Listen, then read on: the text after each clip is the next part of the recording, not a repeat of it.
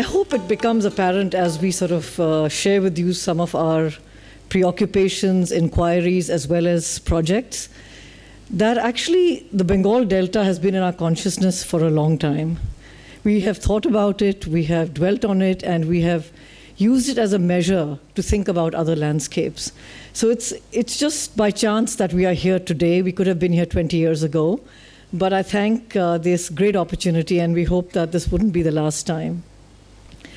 So what, what we're going to do today is, um, you know, as the title says, inquiries and propositions, uh, share with you things that are of deep concern to us uh, about landscape, about how we read landscape. And we also share with you certain propositions that, you know, most of us as designers would call projects. But I'd just like to preface that for us, projects are as much a demonstration of our concerns as our ideas are uh, playing out of projects. So in some ways, it's, uh, it's something we work with uh, simultaneously. We work through ideas, we work through projects, we work through public exhibitions primarily, and we work through teaching. Um, and with this, since we want to share with you quite a few terrains, we will actually just launch right into it. Well, we want to begin by introducing three, three ideas, uh, and uh, to some extent, three contradictions uh, that we find you know, that so I think begins from here. I mean, as uh, I think Kazi said, you know, maybe maybe we are a little bit like Calvino. We go around the world in, in many in many different landscapes, but we always see the Bengal Delta in a way. Um, but we want to question that uh, today. We want to question the very notion of a delta and wonder whether we have misread this landscape uh, with a possibility of, uh, uh, and, and want to suggest actually the alternative of an estuary. The other, the other um, uh, dichotomy or contradiction is a river versus rain. We tend to see rivers, uh, and rivers come in a moment of time. Perhaps we could read landscape in rain, and it would be a very different place.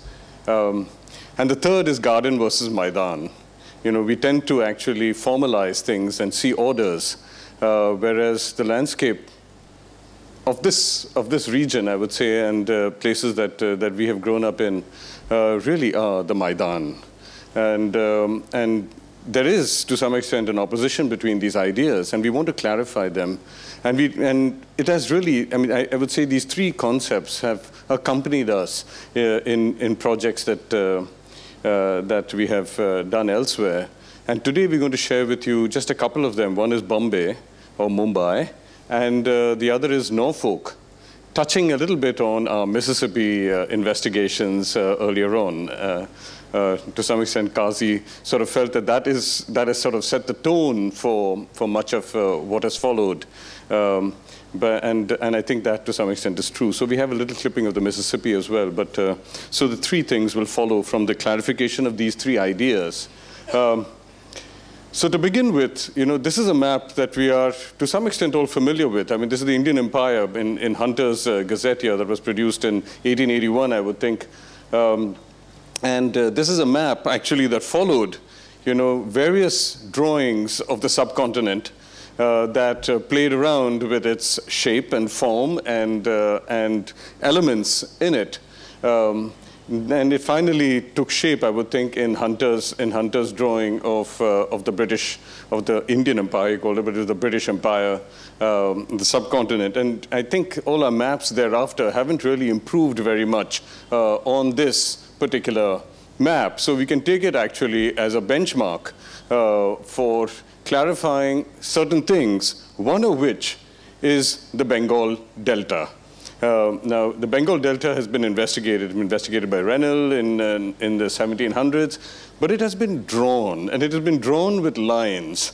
And what is fascinating about it is that, you know, it is, you know, this is, I mean, this is the Ganges that comes down, and then you have the Padma and the Hooghly, and then you have the Brahmaputra coming down, and you have the Jamuna, and, uh, and now what is the old, old, uh, old uh, Brahmaputra? So here, what we what we have, I mean, if you, I think the names may be a little too small, uh, small over here. I mean, Dhaka, as you as you all know, is uh, is over there. You know, uh, Kolkata is over over here. This is the Rajmahal, Rajmahal Hills, and those are the Khasi Khasi Hills. So this has been called actually the twin-headed delta. primarily by geologists, you know, because the two rivers that actually, you know, uh, feed it comes down like that, uh, the, the, Brahmaputra, and then here uh, you have the Ganges. But this was not always known as the Bengal Delta. This was known primarily as the Ganges Delta. And this is the way it has always been in the imagination of map makers. They never really saw the Brahmaputra actually as a river. Until the 1800s, they did not see it as actually something that played a critical role in the, in the construction of a delta, primarily because the Brahmaputra came down and joined the Meghna, which was almost down here.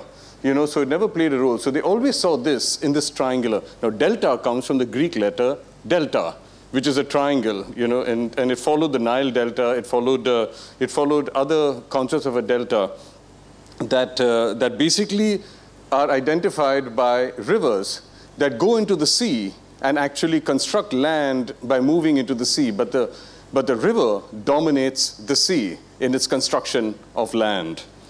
Uh, now, this is an idea that goes back all the way to Ptolemy in the second century uh, you know, uh, of, the, of, the common, of the common era.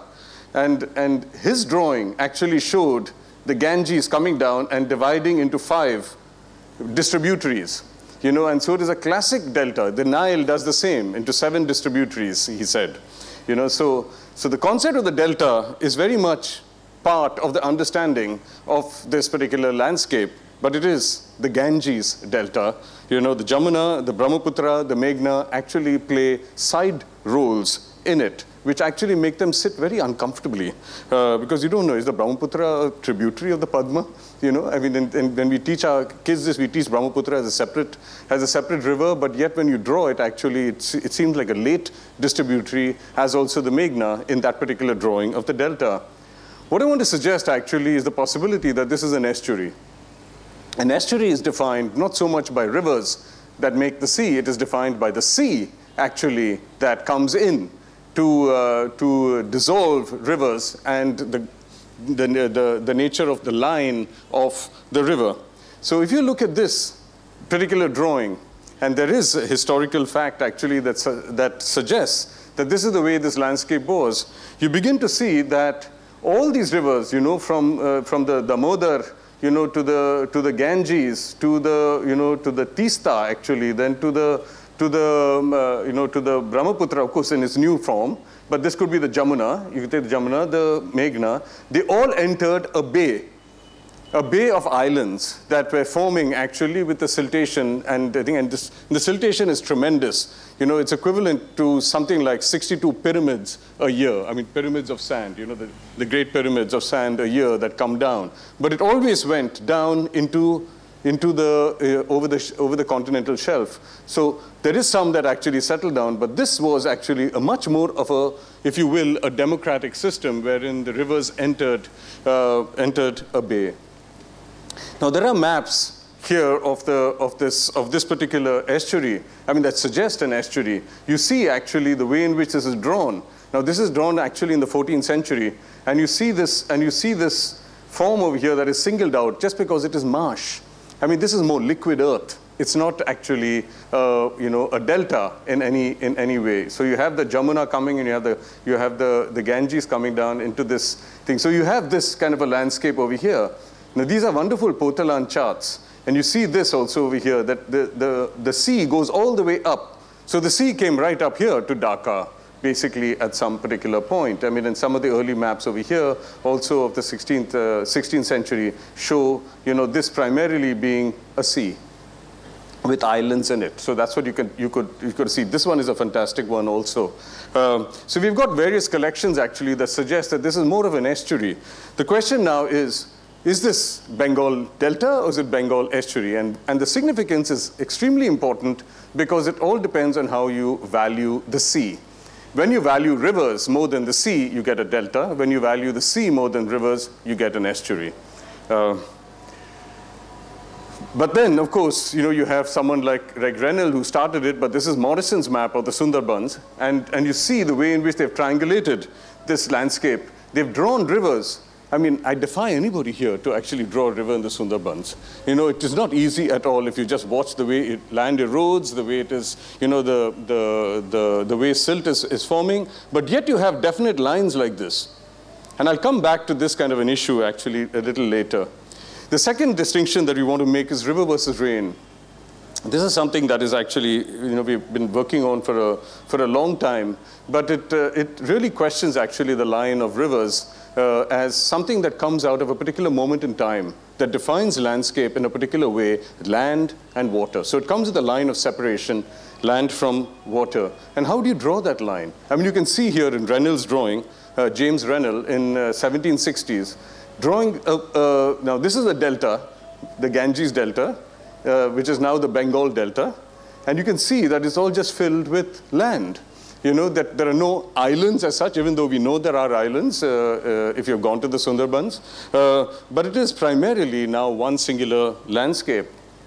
And this is, this is more a projective. I mean, this is an act of design more than it is an act of documentation. Uh, and you see it actually in some, in some of his drawings. Uh. Now, I want to suggest actually that when you think about rivers, they raise very troubling questions, and no one has raised these questions, uh, which really surprises us. Uh, the first one is actually, you know, why are rivers seen, you know, to violate their banks? You know, when they cross a line that is drawn by human beings. So in other words, we blame the river for violating a line that we have drawn. But what is fascinating is that all ecologists today see flood as a natural event. How can flood be a natural event if something is crossing a line drawn by human beings? Uh, so river is fundamentally a drawn entity. The second one actually is, you know, the sense of origin and, uh, and destination that a river, that, now we all know actually, and here in Bengal particularly, I mean in, uh, in, uh, in Bangladesh, you would see actually when rain falls all over, they all, it, water goes into rivers. But yet we see rivers beginning in points up in the Himalayas. You know, and so you have these rivers beginning in points here, flowing down, despite the fact that rain is falling all over. So snow, in this massive snow fields, we still find that one point where a river begins. Why is that preoccupation with that point? Precisely because we want to see the beginning of a line. So the, the representation of the ground is driving our imagination of what exists. So this is something actually that we have to seriously question, particularly here in Bangladesh. You know, I would say now the Bengal estuary. I mean, this is not something actually to be taken lightly because it has directed all interventions in this, in this landscape. Uh, it's all driven by rivers, river fronts, and actually drawing the line between land and water when water is everywhere. Uh, the third question actually that is raised by, by, uh, by these, uh, by rivers actually is the fact, why, we, why do we draw rivers at all with lines? You know, the fact is actually that, and we have seen it already over here in one trip, there are places where rivers, where there's no water in rivers during the, you know, what to call it, the winter months, uh, December, January, February, there is no water in these, uh, in these uh, uh, landscapes. So when there is no water in these landscapes, why do we still draw the line that separates them? Because what happens is, this is the Sabarmati River in Ahmedabad. It used to run dry. But now they're building a waterfront when it was dry, actually, you had goats, you had people meet there, you had dyers working on this, uh, on this uh, ground, you had uh, gujaris, you had uh, vegetable markets, you had all sorts of things happening in what we will talk about as the Maidan. In this, in this place that now has become a river with a riverfront and basically propertied for wealthy people to actually have real estate. So real estate has come in place actually of, of a Maidan situation. So this is very troubling to us because there are so many populations that have used these spaces. Why do we define it with a line? Because when there is no water in it and no water is flowing, what is only flowing is the line, the line on the edge, because there is no water to flow. So these are three troubling questions actually raised by a river that are yet to be answered. Uh, and, and we believe actually that in a landscape like this, an answer should be forthcoming. And it is a shift in imagination that will allow you to answer questions like this. And we hope actually to clarify. This is something that we have persevered uh, and, uh, and hope to have you know, uh, something on the table uh, soon that actually just addresses these three, these three uh, questions. But just one uh, map to sort of conclude this, this figure. This is Rennell's drawings. And you just see how he draws a line. You know? He draws a line by holding on to points. These are drawings from 1760s. And then he joins the points with a line. And he hopes like hell, actually, that the water will respect that line. Now, even this tree, I mean, there are stories of Rennell going and actually literally hugging a tree. I mean, he was the first tree hugger because it was the only thing actually that allowed him to hold uh, something in place in the Sundarbans. Because this place was moving so much, he, I mean, he was basically moved to tears. And so he held on to these points and then joined them with lines in order to actually construct rivers. Now, is that the way you want actually, you know, your maps to be drawn, you know, by just a wish list actually of what you want to see rather than what Reynolds wanted to see rather than, you know, what is actually on the, on the ground. So that basically sort of concludes it, but today uh, we see rivers everywhere. And we see lines actually reaching to all points, but it's always lines primarily because we want land. We want dry land. That's why we keep water to a place. Uh, so here, if you, look at, if you look at the way in which we define rivers, you will see that if this is the water cycle, which you're all familiar with, you know, when water evaporates, it goes up into the sky, comes down in precipitation, and then forms rivers, uh, the notion of rivers is actually only a moment in time, just one moment in time. There are all these other moments of precipitation, evaporation, soaking, soaking, seepage. All these are moments in which I can construct reality. But I have chosen only this to construct this map. I have waited for the rain to stop. I wait for the monsoons to pass. I wait for the clouds to, to clear.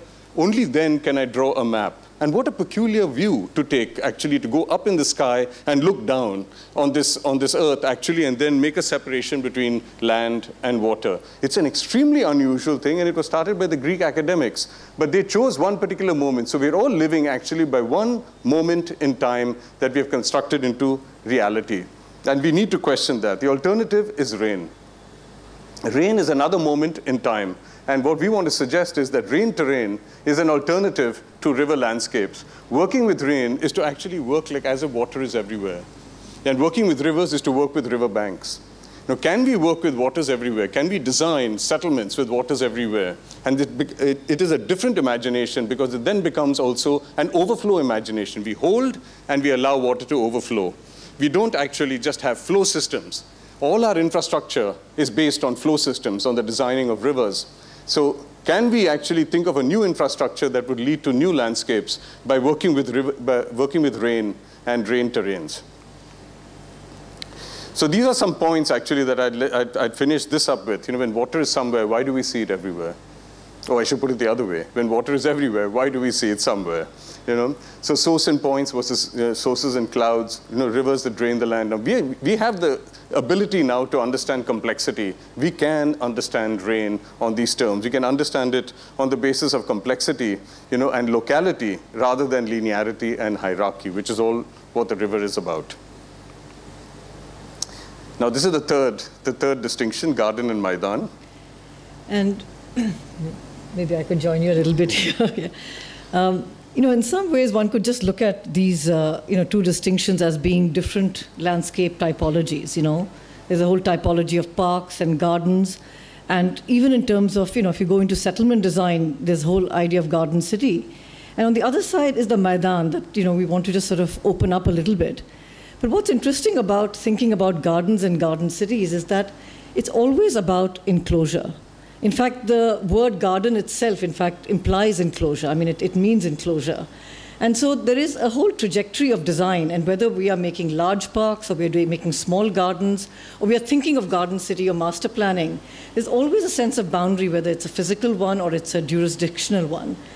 And for many years, we've been sort of, uh, sort of reflecting on and also sort of trying the possibilities of what does it really mean to think in this subcontinent about the Maidan as being an alternative ground of settlement.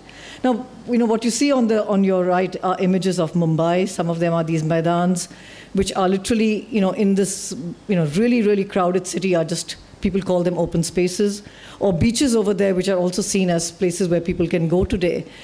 But for us, they are much more than that. They're actually a different kind of ground of settlement. It's a, it's a place of appropriation. I mean, it, it is a place where people can, you know, there's a complexity, multiplicity. So it opens up a very different sensibility about how we occupy place. And so rather than seeing them as places within the city, we tend to see them as actually a new kind of ground of settlement. And it, it sounds a little abstract in just talking about it like that, but you know, when we talk about Bombay, maybe it'll play out what we mean. But I'll just give another example of, uh, you know, of, of a garden and a maidan. What you see on your left actually is a, you know, is a flower show where we're looking at botanical species. You appreciate flowers and landscape as, you know, individuals, as characters. It's enclosed. You go to appreciate it. On, on the other side, you see what is of the flower market of Bangalore. And it's a remarkable place, actually. It's a place of temporality, it's a place of appropriation. I mean, it's, it's not so much appreciated because you come to appreciate a particular species, but it's about negotiation, it's a marketplace. And for us, Bangalore was much more this garden, actually, where flowers moved everywhere, where people moved around.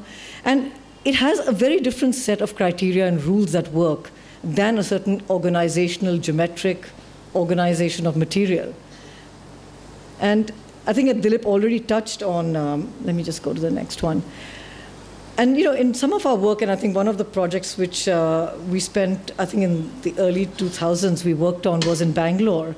And we find that, that the lakes, what they're called lakes over there, and they're actually a whole system of reservoirs, are really seen as these scenic landscapes, which are, you know, I mean, this image would be from probably Switzerland. It doesn't look like the tropics at all.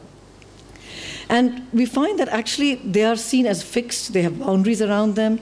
We won't go into detail about these landscapes because they are actually also very much mapped like isolated water bodies. But what they really are are seasonal maidans. And they are, you know, there are certain times where water is an occupant, but other times there's cricket, there's brick making, there are goats on it, there are, you know, flower markets. And, you know, Dilip had just touched on this contrast where it is also a place where all these occupations, where, you know, from dyers to political rallies took place. And there's a very different sensibility on the left when we start to look at you know, the waterfront as being much more coming out of a garden city. It's about a clear definition about this is the place of water and this is the place of land. And it, there's not time to go into the story of how water really has come to the Sabarmati. It's, it's, it's, you know, it's really a lake, actually. And, you know, the, the image on the right is from, you know, Gandhi's um, uh, one of the salt marches when he began it. And it was actually said that uh, he couldn't gather in any public place. And he used the Sabarmati as the place to gather. So we feel there's a kind of a, a sense of resistance that Maidans bring to a certain kind of organization and order, which is really very important actually for us to inhabit places. And with this, we just want to sort of now just play out some of the projects we worked on where these issues actually start to sort of you know, become actually a design language? So the first is Mumbai. When we talk about Mumbai, I mean, you think of, you, you, you think of Bombay Island. And, and there's a fascinating history, actually, of this, particular, of this particular island on the west coast of India and, and the way in which it was drawn. This map was actually, in, you know, goes back to 1670s uh, when the British, uh, in, you know, sort of acquired this property from uh, the Portuguese, you know, as part of a dowry, actually, for the wedding of, uh, you know, King James, King James and, uh, and Queen Catherine of Portugal or something like that. This, you know, they got this and they got, uh, I think it was Tunisia uh, as dowry. Now, wouldn't you love to get a dowry like that? Um, but uh, what you actually see in place of an island, if you had to visit Bombay, is landscapes like this. So when we actually look at this, we wonder, how is this line drawn when you have to draw a line through this? You know, you have salt pans, you've got, uh, you've got siltation, you've got mangroves, you've got, uh, you know, you've got, uh, um, again, I think that is uh, salt, salt cultivation. I mean, these are just waves. But how do you actually draw a line? you know, between land and sea. Um, and that is, that is what took us actually into a much larger investigation of how Bombay was even drawn as an island. Because once you draw a line between land and sea, we realize that I can put a line anywhere in Bombay. You know, even if it is one mile out at sea, if I draw a line, land will reach it in the future. You know, so that is actually a fascinating approach that we see going through history. The line is drawn before land reaches it. And it is always land that reaches it. It's not, uh, it's not the sea that moves the other way around. You know, so, so there is something actually about an island. You can see here, where the line was drawn, and then you see how the filling happened. You know, as somebody described this series as Bombay, Bombay is getting fatter. You know, it's getting fatter and fatter. Um, so it took us actually into investigation of the coast. So we went to investigate the coast actually, and you see how the coastline has been drawn actually in history. Uh, here you just have three examples, but how initially actually it was so porous, the coast was so porous in these maps, and they become slowly more opaque.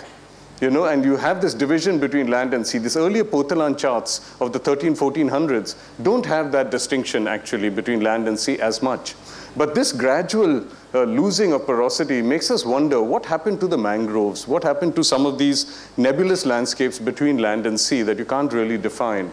But what we have done actually in the process of drawing a map, I mean, this is an 1827 map of Bombay, uh, you find actually that you have marginalized the sea. The sea is out there, land is here. Now, this is becoming a critical concern today with sea level rise because we're still treating the sea as an enemy. You know, so if the sea is out there, it's very easy to make an enemy once you define something as outside of, uh, of your existence. So that's what's happening over here. Uh, the sea has been marginalized. But what is interesting, actually, we also marginalized the monsoon. Today, people think about the monsoon coming, you know, they only think of, of disaster the possibility of disaster happening, that they won't be able to, you know, uh, take a walk. They, they look forward to it cooling the, you know, cooling the weather, as it were. But other than that, you know, the monsoon is seen as bringing floods.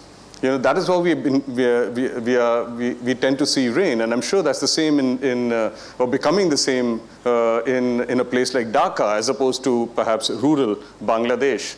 Uh, you don't look forward to the rain as much only because it just brings a mess. And in uh, fact, the US government declares uh, days which are dangerous in the monsoons for people, travelers, not to travel there. And they encourage people yeah. take a hammer in your car, you know, because you need to smash the window in case, you know, in case of a, in case of a flood. Um, but, uh, but this thing of marginalizing a monsoon, they're making the monsoon a visitor when it is actually a resident. You know, so you see the monsoon coming and you see the monsoon going. The monsoon is never a resident, and it is increasingly an unwanted visitor. Um, so what we want to suggest actually that in place of, a, uh, of an island, we want to see an estuary. An estuary brings a different relationship actually between so-called land and water. In some ways, we don't even want to actually encourage that distinction, but we want to work with it. We have to work with it today only because that is the language that everybody speaks. All the, all the law is spoken in terms of land and water. So if we speak in terms of land and water, can we construct a new relationship between land and water that is not driven by plan division between land and water, but by a sectional understanding where water and land actually meet at different levels and on gradients on gradients. So that drawing that you see on that side is the same drawing, but drawn with sections. I won't go into how these sections were drawn because there was a particular way in which we chose to take it through particular tanks. But what, uh, what you question actually, once you open, open an island and turn an island into an estuary, you begin to see actually that the way in which we see land use planning you know, the way the planner works with land uses, this is residence, this is commerce, this is, you know, this is uh, industry, that is, they're creating islands within islands. And if you look at the way people use space, you can't draw lines around them. People live actually in an estuarian fashion. And I'm sure this is true of Dhaka as well. They live in an estuarian way. They don't live actually in an island way. You can't, I mean, it's, it's not like I, I go there and that is, this is my private and that's my public there is a tendency actually to dissolve some of these uh, distinctions. So what we're concerned with actually is three things that happen when you, when you confine water. I mean, this is, I mean, another thing that comes out of this actually, when you draw an island, you also draw channels that, you know, drain the island. And over here you find, as we, as we, spoke, about the, as we spoke about the Maidan, there is much more of a fluidity between, between land, and, land and water. So this definition of putting water in channels you know, has massive repercussions actually every year. Every year you will see floods like this, you know, because water doesn't find its channel. Water falls everywhere, you know. And then you have, you have, at the same time, you have scarcity. So there's water being delivered in trucks, you know, to, to places because this water is unusable. No one can drink this water. You know, because it goes into the sewer immediately. And so you are left actually with getting water from outside. It's really bizarre because we have been in Bombay in times like this when it's raining outside and we turn on the television to see whether we can even travel outside if it's, if it's, uh, you know, if it's not flooding.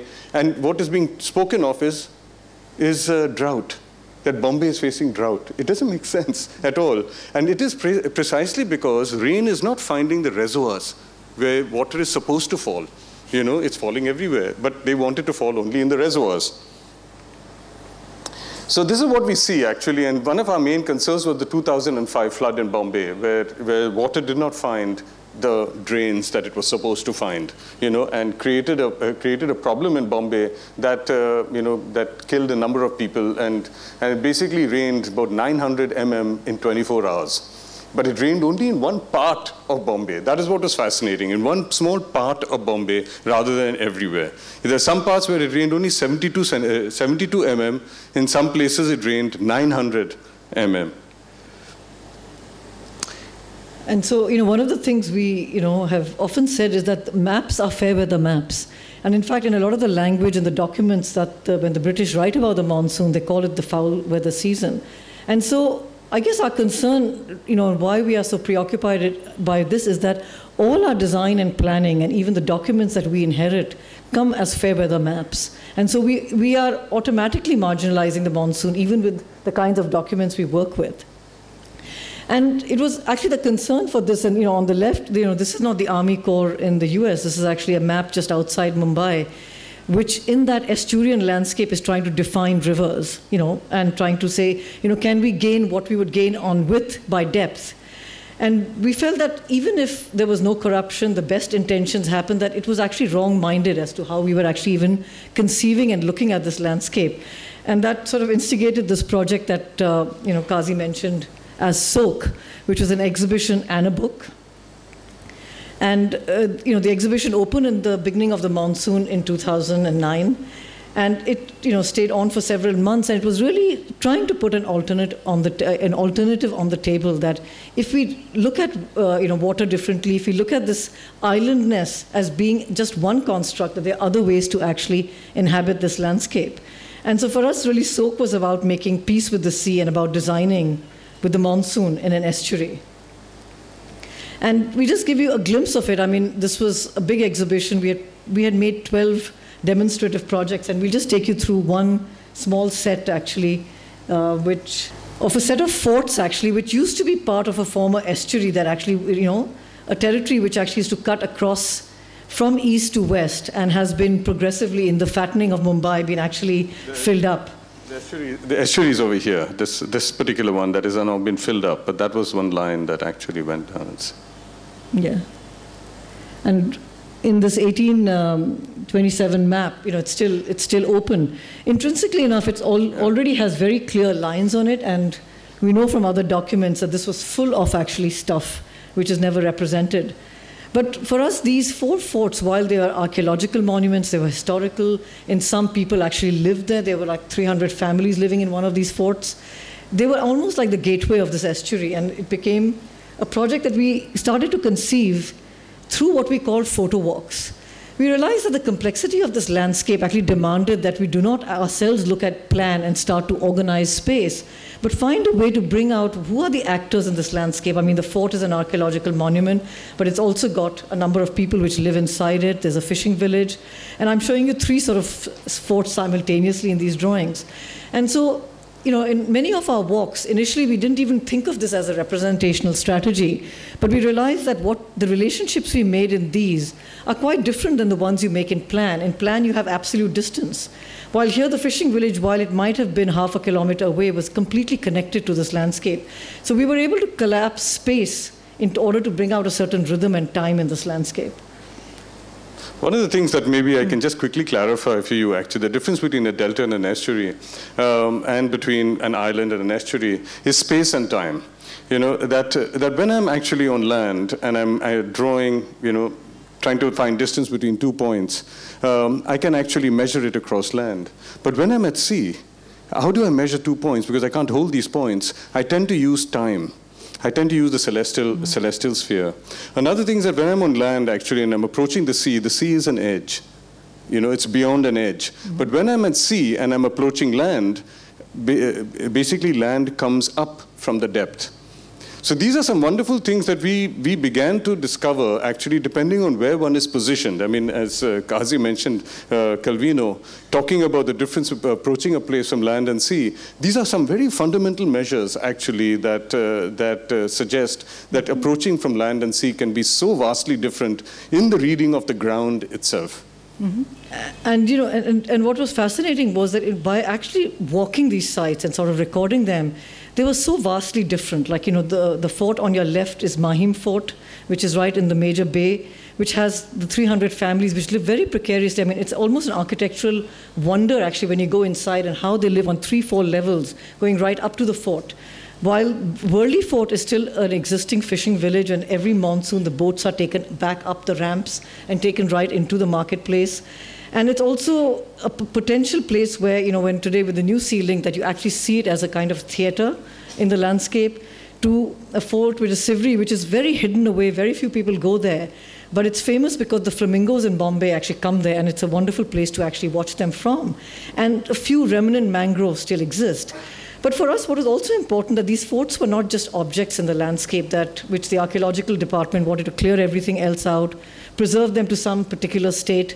They also had their landscapes that they were part of. So connecting the Sewri fort to the salt pans and to the horizons beyond, uh, to the Worli fort, to the fishing village, you know, the Mahim to you know its own sort of landscape became another very important strategy for us as designers and architects, landscape architects, to start to think. But then the series for us, you know, the, these drawings give us a way to single out the actors, you know, the boat, the people living here, the fort itself, the fishing movement, the mangroves. And we're just sort of playing out a construction or maybe a process of our own work. And then thinking about these sectionally rather than in plan first became one of our sort of first strategies. And these sections are already propositions. They're not, they're not a reading of the landscape, but they're already starting to explore cuts which connect this estuary to the, the, you know, the water which had been disconnected, or certain terraces which are built on Worli Fort, which become public spaces, to you know, new walkways which are going to start coming and starting to connect the Sewri Fort to the mangroves and to the fort itself, which is at a great height from there. So in some ways, thinking actually in section through rhythms became a very important part to even set the stage for the project. But I think what was equally important, and I think as Dilip mentioned, is this whole issue of time. And what is probably really small and frustrating in these drawings from what you can see from distance is the strip of what we call material notations.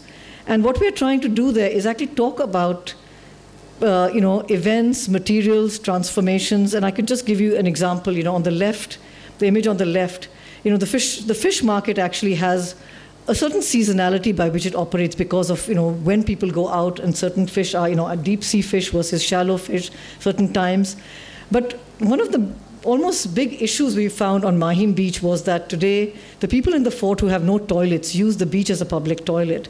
And so there was a sense that we have to actually start addressing that as part of this restoration.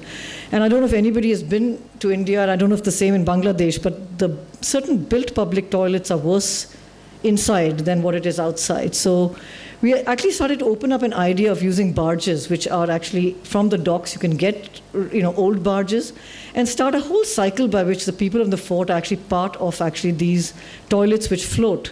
And when they get filled up, they go out and park in a, a, place we had actually thought about, but start to work with biotic plants to clean them. I mean, that's just one example, but what, what that was doing was that it was really working with time because there is never enough space for all the people there, but in time, a barge can come and go out and come back in when it's ready. And it was one of those propositions we were starting to you know, work with young entrepreneurs that, you know, one of the biggest products in Bombay is shit, and can we actually make some value of it, actually?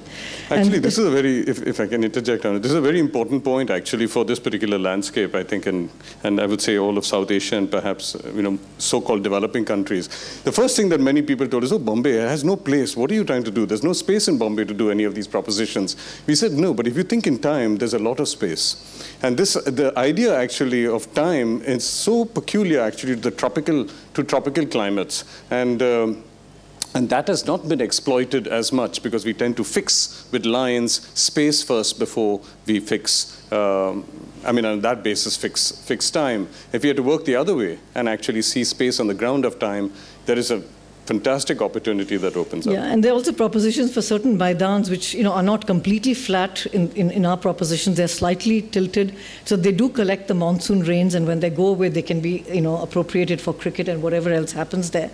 But for us, in some ways, you know, when we look back at this project, we are left more with the sense of these rhythms and these practices of the estuary than with you know where we have organized things.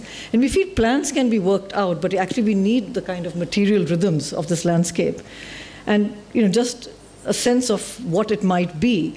And even for us, a perspective is not one single bird's eye view which you're looking from the top, but it's about multiplicity, that there are many things happening simultaneously that actually construct and make a landscape. And so we in some ways, you know, many of the roots of these ideas and some of the things we've talked about, you know, especially in terms of this division of land and water, even though I think we were not as aware of it as explicitly as Dilip has explained today, this was very much part of our consciousness when we actually started to travel the Mississippi. And what you see here are two really significant images from the 1927 flood. And this flood was important because even today, I think a lot of the policy which is in the United States, and by that it is the policy in terms of flood control everywhere. So I'm sure all of you in Dhaka are part of sort of what is the outcome of this flood. Uh, has actually sort of played out. But at that flood, these two images show two very different high grounds that emerged at that time. On the left, you see a continuous levee, and of course, in this image, there's water on both sides, but the idea is that water should be on one side and land should be free. And on the other side, you see an image of one of the few remnant Indian mounds, mounds built by American Indians, which most of them have been demolished, but there were few left over. That has a very different sensibility in this particular landscape. Now, this is, this is a landscape actually that is true in Egypt, it's true in, in, in Bangladesh. It is, you know, at one time, this is the way you built in deltas, you built mounds. You never mm-hmm. built levees. And you know, the, and so the outcome of that line is that you have to hold that line for the whole length. So once you start with a levee, you're addicted to a levee. And so you know, in the Mississippi today, there are over 2,000 miles, and you know, and I think 50 feet and rising. And so it keeps rising with every sort of new flood. While there was a very different sensibility, and it's probably too small to see how within the estuaries of the Mississippi, the Indian mounds were points that understood where meanders of certain you know, movements of flows were and got situated over there. And was a field situation. Just to give you a number, actually, these levees started at four feet. At four feet in the 1700s. And today they are 50 feet and growing. Mm-hmm. There's only one way that a levee grows, and that is up and up. Mm-hmm. And what a levee tends to make us do is think and plan, you know, water on this side, and when it breaks, you know, water's crossing a line. And in thinking of these mounds, which are sort of discrete systems. Now, you know, whether there are mound or there's a line or a finger, we're talking about discrete systems, is actually a sectional sensibility. So for us, it, it started to make us think about the horizon of the Mississippi or the, or the line, which is actually much more about the rising and falling of water, where you don't see something sort of crossing a line, but, and you work with that rising and falling. And of course, the sensibility that won was the, you know, the one on the left, and that's the sort of the plan of how the Mississippi was going to be organized, with blue is water, and everything else had to be clear of water. While even if you look at in section today at the current channel, it's a much more uh, sort of, you know, less clear, muddy reality. It's interesting that this drawing on the on the left side mm-hmm. was was done in, in after the 1927 flood. But in India now, they're working with drawings just like this, actually, that began in the 1970s. Mm-hmm. They mimicked exactly this of dividing the flows of the Ganges, of dividing the flows of, the, of, the, of all the Indus tributaries, and all the rivers in India. There are diagrams like this. And maybe just to give you a sense of scale, New Orleans, you can just show where New Orleans is here, yeah. New Orleans is here. Mm-hmm. You know, and that is, this is Ohio. So this is actually the whole of the lower Mississippi. Uh, this is the Ohio River coming in. That's the Missouri. You know, so this is just the lower Mississippi, defined as if it was basically a pipe system. And to some extent, the levees are just an extension of actually that drawing of that line. So even when they were sort of mapping the continent, somebody decided at a moment when it was dry that that is the Mississippi, where there was so much water all around. And that particular line got straightened, levied, you know, controlled. And I think it's only today, I think after Hurricane Katrina, which we'll just touch on briefly, that the conversation is starting to be opened again about, you know, what is this line that we have drawn? And of course, our journey, which we had taken, was about five years before that uh, historic event. Yeah, but this is, uh, this is what you see actually going on today. They, are, they drain the, they basically dredge the river, they, are, they put concrete embankments on the river, uh, all to actually keep it from flooding. I mean, you're keeping the whole system from flooding, but you're also constructing a datum, a datum in the landscape that water cannot go above. But when Hurricane Katrina came, basically it went, it, it rained inside this, this data. And that is something that you have to be so careful over here when levees are being marketed here in Dhaka or in, uh, in, in Bangladesh in general. The problem is not so much actually the water of the, of the river coming into land, it's the water of the rain that is not able to go out. And, and what happened here in Katrina is that New Orleans found itself in a bowl. And you hear the story all the time told, you know, New Orleans is below sea level, New Orleans is below. It's actually designed to be below sea level. It was actually continuously deposited. Once you build a levee, there are no more deposits. And so it goes below sea level. So this, the, the, the uh, bragging that goes on today, you know, even the Dutch, that they live below sea level, is just totally untrue. But what was interesting was that in this event, there was very little conversation on the Mississippi. It was, okay, Hurricane Katrina destroyed you know, New Orleans. And for us, actually, it was already the design of the Mississippi that actually had allowed for that datum to be set, which allowed New Orleans to get flooded. And, you know, and many of you have seen images like this, and I've understood what that bowl was. But that's why, as designers, we are interested in this. For us, design doesn't begin, begin with the plot of land that we are given, but it begins with this infrastructural act, actually, where the whole land has been articulated in a particular way. And so the Mississippi landscape was already designed, and for us, the Army Corps are the sort of the, you know, the premier landscape architects in the country. So this is something that we keep saying, that there's no such thing as a natural disaster. I mean, nature doesn't make disasters. We make the disasters by actually not, able, not being able to design uh, in, a, in a particular way. But we still keep using this term natural disaster, natural disaster, natural disaster. How can there be something like that? Mm. And so our own work, which uh, Kazi had referred to, actually had happened five years previous to that, where we had actually traveled the Mississippi, I think with an intuition that this was actually, if we had to understand anything about America or anything about landscape, we had to actually travel and know what are all the measures that have been used to manage it, to control it. But what we found and what we also were expecting was that there are amazing, it's an amazing landscape in which you know, the, from meanders to certain, you know, floods to the way the soil operates to certain stories in this landscape, that there are all these other measures which actually differentiate it. And that actually gets leveled when you just look at that one engineering drawing. You don't understand all these differentiations. So in fact, bringing those out through this public exhibition was sort of mainly our task. And it was only after Katrina that we found ourselves in this sort of disaster conversation, which we were really not part of. We were, you know, really celebrating the Mississippi as this amazing landscape where the Army Corps were part of it. I mean, we were not sort of working against them, but we were trying to understand what is this landscape that they have constructed. So these are two different paradigms of living. You know, you can live mm-hmm. actually in a, in a mound actually and allow the Mississippi to be free, or you can live with a levee and, and, and basically allow humans to be free with land wherever they, wherever they want. So you have to choose that, path, you know, one or the other. And America, and certainly, you know, everywhere today, I mean, including Bangladesh is moving very quickly in this direction of actually choosing levee systems so that you control where water is so that we can be free to settle anywhere we want. And to some extent, we are re-showing this image because it's become much more significant in the work we've been doing recently in Norfolk, Virginia, um, which is on the west coast of the United States, and we were uh, invited. East Coast. East Coast, sorry, East Coast of the United States, where we were invited to actually look at issues because they, it was one of the areas which was really going under or predicted to go under the fastest with sea level rise. Uh, many of the conversations that you guys have over here were you know, happening in Norfolk. But it's a very important place because it's uh, the hub of the Navy, uh, uh but it's also one of the biggest ports actually on the East Coast. That's right. It's the largest naval port in the world. So it is in the Chesapeake. It's in the lower Chesapeake. So I mean, if this is the Chesapeake Bay, that is Washington, D.C. over here. Norfolk is here. It's, uh, it's uh, at, the mouth of the, uh, at the mouth of the Chesapeake. And this is actually witnessing the most significant sea level rise actually on the East Coast. uh, in the 80 years, actually, the last, in the, the last 80 years, water has risen 15 inches.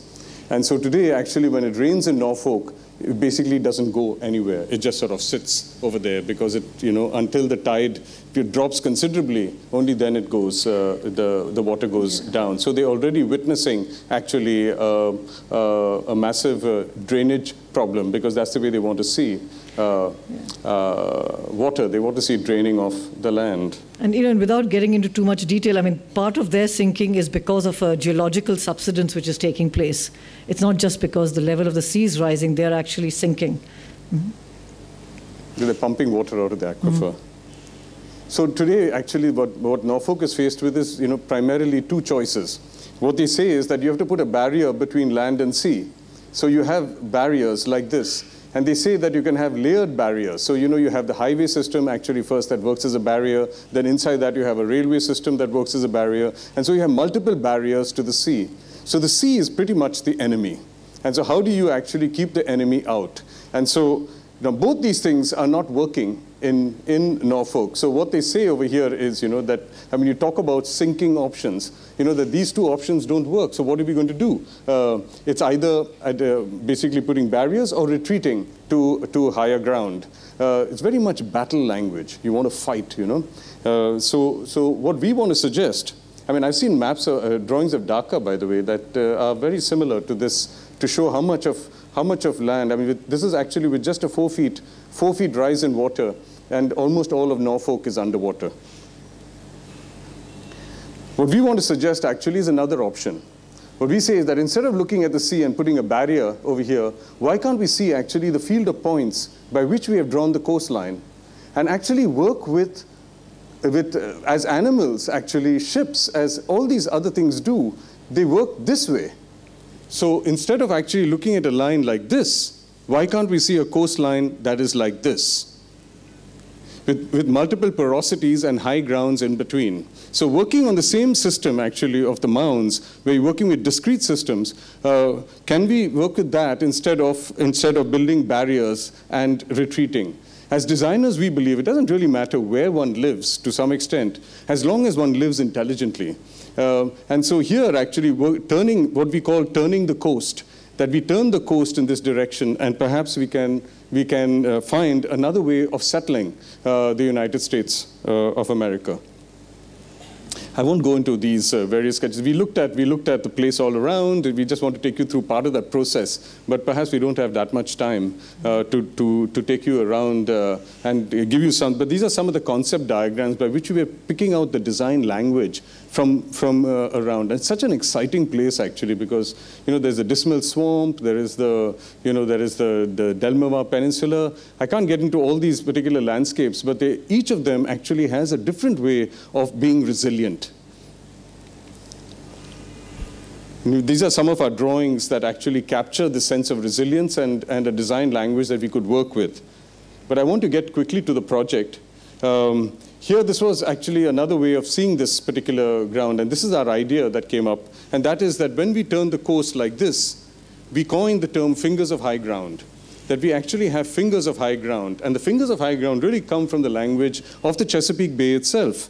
And if you look at, if you look at this as the Chesapeake Bay, you see these, these rivers actually. This is the James River. This is the, you know, the, the, uh, the Potomac uh, River. They all hold fingers of land in between.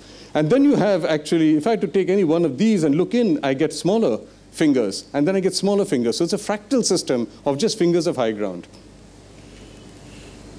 So we coined this term, fingers of high ground, and we said, how can we define how we how we uh, settle on fingers of high ground. Because what we say is that we raise ground and we also hold water. We don't lower ground, but we hold water. We allow for water to have much more of a place. Huh. How much time do we have? We have a, it just doesn't matter. It's uh, okay. Okay. Mm -hmm. So, so this, is, this is a drawing of one finger, just to give you an idea. And, and this is something I'm sure that one will appreciate in, in, a, in, in a place like Bangladesh, uh, that the way low ground works is by one logic. You know, the way water moves in, moves out, the way rivers come down, rivers go up. I'm, I'm using the term rivers now purposefully because that's the way we have our language in place. Um, but high grounds work in a different logic. High grounds work by occupants. by occupants that have a completely different seasonality, have a different uh, uh, occupation. And we, we felt actually that there's a way of, of connecting these two, uh, and that is what we call a gradient. If I had to just look at a slope, slope has one logic, but if I look at a gradient, gradient has two logics, one from high ground and one from low ground. And they meet on that uh, on, on this um, uh, you know adjacency. So that's what you see over here. You see the low ground logic. We can actually have habitations with multiple uses that also accommodate the sea. But we can have play areas, we can have uh, certain, certain uh, functions of the city operating at low ground, while others operate at, uh, at high ground. So, so what we did is actually we selected two sites two sites of some significance, which I won't get into. There was a, this into escape uh, hurricanes, etc., etc. Um, that uh, mm -hmm. and one was actually on the north of uh, Norfolk, and the other one was on the east. And this is actually the Elizabeth River that goes down. So we chose one of these. It's a, it's a, it's a, it's a large uh, uh, exchange point uh, for coal. the trains come actually and deposit, deposit coal on ships and this coal, I mean, the coal comes to India, goes to China. Um, you know, as America is turning from coal, uh, coal to nuclear and to solar energy and all that, they're deciding that all other countries must live off coal. So, so that's where it, uh, you know, the coal is coming. Uh, and uh, this one is a, is a fascinating landscape in itself, which we won't go into in this project. Uh, but this is a Willoughby spit. This is a, this is a, it's called a spit. It's a, it's a piece of land that just emerged from the sea uh, with uh, sand in, uh, in one hurricane in the 1700s. And today it's, a, it's completely populated with, with housing. One, you know, the image you're seeing is actually what is called a LiDAR image. So it's not showing you the urban fabric, which is, you know, this is actually completely settled. But it's, it's almost X-ray-like, and it's showing you all the creek systems. So what's really important is that, you know, everybody in, I would say, Norfolk kind of realizes that to build a levee around Norfolk is not an easy thing because you know you have to hold the creeks in. But that still seems to be the only solution on the table. And you know, so when we started to look at it, we said that okay, let's just play out the two scenarios. You know, what does it mean just as a diagram to have fingers of high ground versus levees. And we said, you know, what would be an intelligent system of levees would be like, you know, a ship's hold which has many smaller kind of sort of uh, places which get enclosed. And so what you see on your left is what would be a scenario of barriers, gates, and pumps. And on the right would be a potential of starting to raise ground, but allowing the creeks to actually function. So it's actually the high ground accommodates the low ground. This is, the, this is the model actually that was followed in New Orleans. And, uh, and I think part of it is already built in Dhaka, I notice, that you have a levee system, but you won't have a single levee system actually because nobody builds with that, uh, with that uh, sense of singularity today because if it fails, it's catastrophic. So they, they would build in smaller systems of levees, but the, but the failure could be catastrophic within each, each uh, pocket as well. But it also creates a barrier between land and sea. So there's no more an eco ecological movement. And what I showed you earlier was that all, when I'm talking about the blue crab, I'm talking about different kinds of fish, they all work between, on a gradient between land and sea, between salt water and fresh water. You know, and so that disruption is actually severe when you build a levee, a levee system as opposed to uh, fingers of, of high ground. So if I actually work with fingers of high ground, wherein I allow the sea to come in when it rises, um, and, and move habitation to, to high ground, it's just for me to think of a new kind of infrastructure. But, uh, but the catastrophic failure will never happen when you have an open system. So this is an open system, this is a closed system. This is where actually rain is allowed to gather and flow out. Here rain has to be pumped out. You know, and this is what failed in New Orleans. The pumps failed. No one could actually pump the water out, or the pump, uh, the people who manned the pump ran away uh, and so they let the city drown. So the two things, the two questions that come up actually always in the in the raising of high ground. How do we build high ground? And we find actually that that in in uh, in, in this area there's a lot of uh, of soil dredging. So we decided that we will use dredged soil that keeps the harbor open. Uh, and there's a considerable amount, I won't uh, get into it, but we did drawings actually that, that tended to capture this seasonality actually of of collecting, of collecting uh, soil.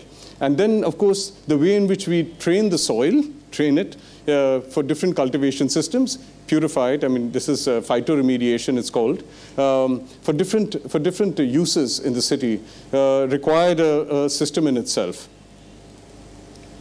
Then we study the rain and we looked at, at how rain actually operates because what people are dying of in, in Norfolk is actually rain that does not have any place to drain, as it were. So we had to define holding systems. But for that, we had to work between rain and tide.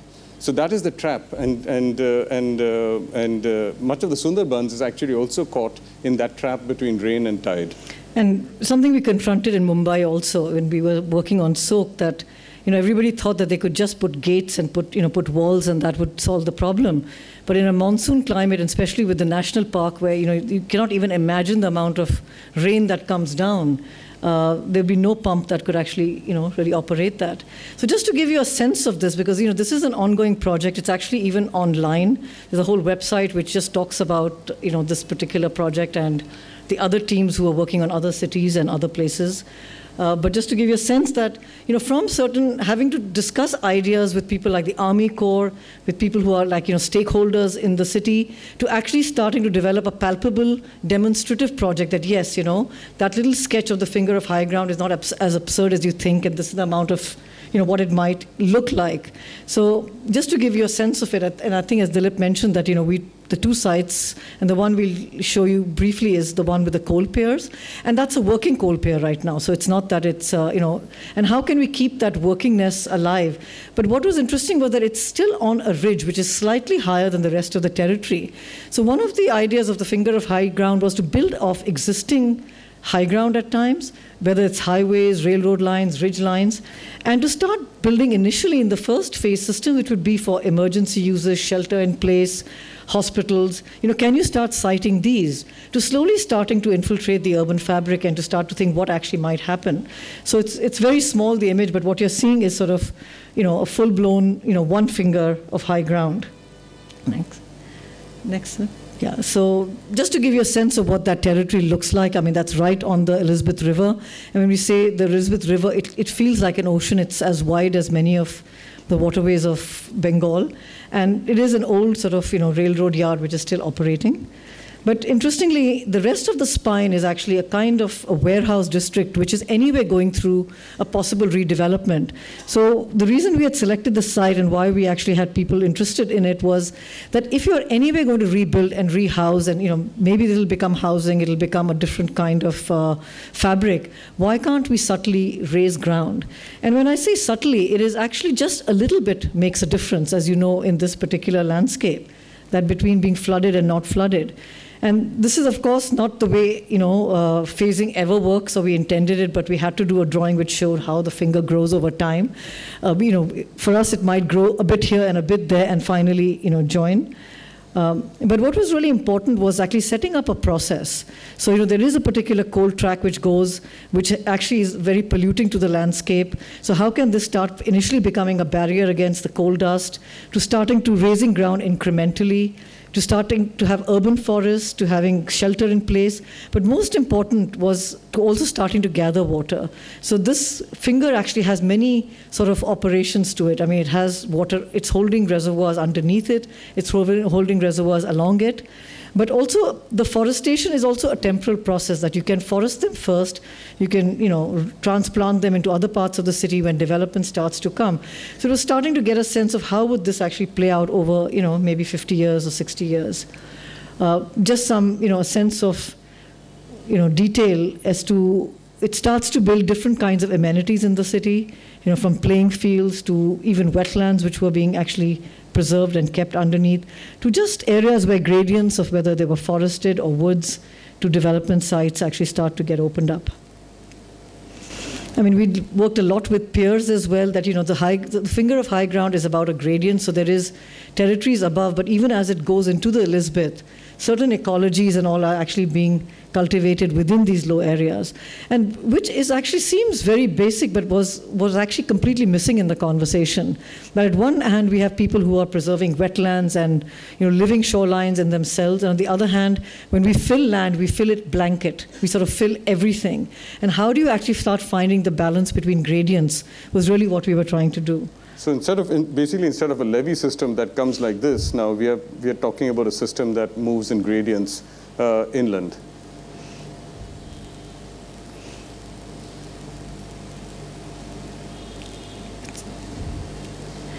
And we've worked on many other sites because, you know, the way the fingers of high ground work out, they are very specific to their locality, whether you're on the beachfront, you're on certain, you know, geological formations, or you're on an island. It started to find a very different language, and it's, you know, something which is sort of still ongoing. But I think the larger message we always return to, even whether we are talking to the Army Corps or the community, is that actually that what we need to do is to change the imagination. You know, we can you know, give you more details about the project, we can cost out the project, but if you are willing to accept that the coast is not a line that we have to sort of worry and protect against, that we have to work in this direction, a whole other conversation opens up. And uh, you know, as I said, that you know, just this morning we got we have two emails waiting for us from the Army Corps, who are actually starting to get interested because they feel that they are at a dead end in a place like Norfolk. That there is, except for retreat, there is no other idea. So whether they accept it or not, but it's already FHG, fingers of high ground, has sort of become part of their vocabulary somewhere. And interestingly, we also got a call from the Urban Land Institute, actually, because you know their interest is actually to rescue land, and here we are providing them with the construction of land to some extent, but they are interested in long-term visions, actually, for the city. So turning the coast is not a short term, but the way in which we are, the way in which we construct it strategically, and uh, we're not got into that aspect of it uh, here for you, but uh, but it is strategic actually in the way in which you raise the the ground of a city selectively. So we're talking in terms of 200, 300 year kind of situation. And, you know, I can't not put one image of, you know, my engagement with this place, I would say almost two decades ago. And in some ways, it is, it is uh, unfortunate that we didn't think about strategically raising ground. You know, this was a thesis project I had done as a student and was thinking about very much some of these ideas which were not even clear to me at that time about that this is a landscape of cut and fill of holdings of actually strategic fingers of high ground. And, and you know, today when I'm traveling not only in Dhaka and I see everything is unidentifiable, and we took the, you know, the levee road today with the Saif, and it was really quite sobering to see how that blanket filling is taking place. So one wonders, even if we can't do anything with Dhaka today, because this is, you know, none of this land actually, most of it exists even today, uh, how do we think about the larger landscape? And we had been in the Sundarbans from the India side last year, and in that liquid landscape where in one day, you know, the, the tide rises by five meters, you know, they're talking about levees. And we've been thinking that, you know, it, it, you know, most of the time when we were on the boat, the roofs were below us. And how can we actually think about allowing people to live in these landscapes like this? And it's not that we have to ask them to move away, that there has to be a more intelligent way to actually think about the ground and to think about reconfiguring their ground. Thank you very much. Hmm. So I'm a student, and I wonder that you showed in the uh, Norfolk project that there are uh, uh, highlands, and in between there are lowlands. But uh, I wonder that um, due to natural forces, the highland may erode, and and sedimentation will take place. And uh, if this uh, project, I mean, we construct this type of fingers of highland in our country, I think that uh, what are the strategies to stop from uh, land encroachment in those lowlands? I mean, uh, due to natural forces, the lowland will eventually become sedimented and uh, it will lose its depth. I mean, to an extent, of course, one is not suggesting actually that the fingers of high ground will will work over here. I mean, but there is a certain uh, sensibility to to encouraging uh, as much lowland as highland. One of the things that we were at pains to distinguish. Uh, in, in the Norfolk project is just the way in which settlement has happened in America, where all the low grounds, all the creeks, the creek systems over here, were all filled up actually, and, and leveled. I mean, which is frighteningly similar to what is happening over here. Once you lose your low ground, actually, you're in danger. You're in danger of, you know, what we then becomes flooding. Um, so the, the issue is, I mean, I'm not sure how to respond to, to the ability to control low ground and, and prevent the settlement, uh, settling from happening over here. But I just find that uh, with the people in Bangladesh, uh, as opposed to some place like India, there is an awareness actually of low ground that is uh, that one can perhaps rely on a little more than in India, you know, where people move, say, from Bihar to Bombay, and they don't understand a monsoon climate at all because they've never lived in that landscape. Here, there is a singularity of landscape, uh, uh, largely, largely, you know, being an entire, this thing is an estuary. So I think that that to some extent is already resolved to an extent. It doesn't, it won't, and one has to be creative. And, but we believe that this is a designer question. And, and as designers, you know, you have to take on this challenge of uh, making it possible to, uh, to maintain the low grounds without, you know, just losing it because one cannot maintain it. You know what I mean? That's the tendency of government, uh, just to make things easier for ourselves. And we have to find we have to take the more difficult route and not the easy route in this uh, in this place. I'm not sure if I sort of answered your question, but maybe Anu has. Yeah. Uh, you know, one way to think about it is that you know, as designers, you know, we are all suddenly getting aware of landscape in some ways. You know, and and it's been a quite an interesting week and couple of weeks for the institute as well. Can certain practices, not thinking about landscape as, you know, just the formal parks and gardens we've designed, can certain practices be part of these low grounds? They already are. You know, how do we actually find ways to maintain them and not feel that they are to be relegated to the rural or some other place? And there may be other kinds of practices which could come about. So in some ways, we do have to be stewards of the low grounds. Otherwise, it, it cannot be it cannot be sustained. Yeah. Thank you. Uh, I really appreciate the beautiful presentation you made, and probably it's a very good solution in, uh, for the problem in hand. However, uh, I find uh, it's uh, quite difficult to understand at one point because the concept of delta and the concept of high, high ground, isn't it sort of contradictory? You know, if you look at it from na nature's point of view, uh, deltoids are supposed to be very flat, right? the Egyptian delta or the Bengal delta, they're by, na by nature it was always very flat because uh, I'm not sure, but uh, probably high grounds become a disruptive point somehow, and it uh, uh sort of um, create a problem for the river to flow. Uh, maybe I'm wrong, but uh, when you grow in Bangladesh and you watch TV, you, one image you always, I think, you used to see, at least I did when I was younger, and the image was that the banks of these high grounds was continuously breaking out and things like that. So I was, I was wondering, are you, are you, uh, what are you planning to do because of that? Uh, I'm sure you're not going to build more levees to protect those high grounds that you make, right? So that, at that point, it somehow feels very contradictory to me. Um, maybe you, you'll be uh, clear it out for me. No, I mean, to some extent, you know, though it's a very different landscape, but because you mentioned the Egyptian delta, uh, people did live on mounds there actually. I mean, in fact, all the, and so when the Nile would rise, they would sort of move up onto the mounds and then, you know, wait for the silt to gather into the fields. And as the Nile would recede, they would move back down. Yeah? Yeah, yeah. I'll just clarify that. Actually, when, uh, if you know the historian, I mean, he's known as the father of history, Herodotus. Uh, Herodotus went to Egypt, actually, in uh, 400, uh, 400 BC. Uh, and uh, he describes, actually, the delta of, of, the, of, of Egypt. And in fact, he coined the term delta.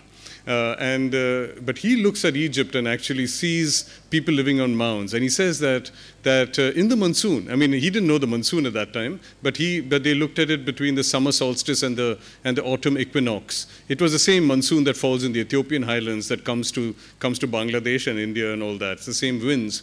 Um, that falls and comes down as the Blue Nile and raises the water in, in Egypt. So the, so the Nile uh, at some point is not a river. The Nile actually is rain. It's just an overflow system of rain. Uh, but he describes it as, as discrete mounds like islands in the Aegean Sea. And, if you, if, and, and he spoke to Egyptians, and, and he found the Egyptians to be foolish because they did not know the source of the Nile and they did not know why the Nile flooded. Yeah? Not for a moment did he think that the Egyptians were probably looking at him and seeing him as foolish because they never saw the Nile as a river.